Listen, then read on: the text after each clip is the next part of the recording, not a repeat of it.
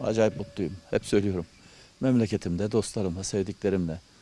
Keyifli iş yaparak. Tabii ki karşında bir iş var biliyorsunuz. Onu doğru yaparak. insanlara keyif vererek mutlu bir şehir haline getireceğiz futbolda. İnşallah diğer e, konularda da bu destek devam eder. Adana tekrar yükselişe geçer. Valla biliyorsunuz yeni alınan kararlar var. Üç tane yerli oyuncu kararı var. Mesela en çok etkilenen biziz.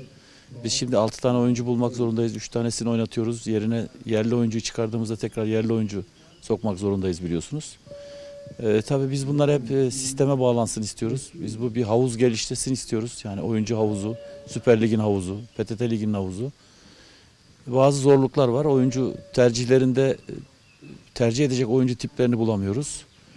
E, Bulduğumuz oyuncularla ilgili tabii e, ileriye dönük ne yapabiliriz, ne yapamayızı düşünüyoruz. Bunlar biraz bizi yoruyor. Biz de istiyoruz. Yabancı sayısı özellikle Türk oyuncuların sayısını arttırarak yabancı sayısını yukarıdan aşağıya doğru indirmek biz de istiyoruz. Bu ülkenin evladıyız. Hak eden evlatlarımız var. Çok yetenekli oyuncularımız var. Transferimizde o çok belirleyici oldu.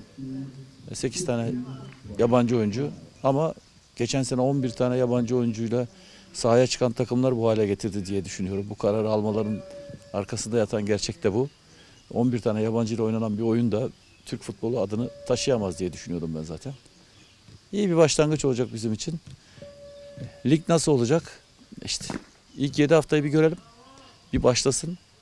Ondan sonra bakarız kim nereye gidecek, kim nasıl kalacak, kim daha yukarı bir hedefi nasıl belirleyecek. O zaman göreceğiz. Bu çok uzun bir şey. Amil takım gerçekten tümüyle başarısız bir turnuva geçirdi.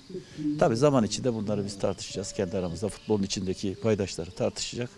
Ortaya neyi yanlış yaptık, neyi doğru yaptık çıkacak. Yanlışlarımız varsa düzelteceğiz. Doğru yapamadığımız şeyleri nasıl geliştiririz diye birbirimizle oturacağız, konuşacağız. Ama benim tek temennim bunu futbol aklı konuşsun. Futbolun içindeki insanlar konuşsun. Onlar yorumlasın ve ortaya da bir yeni bir plan çıkarsın.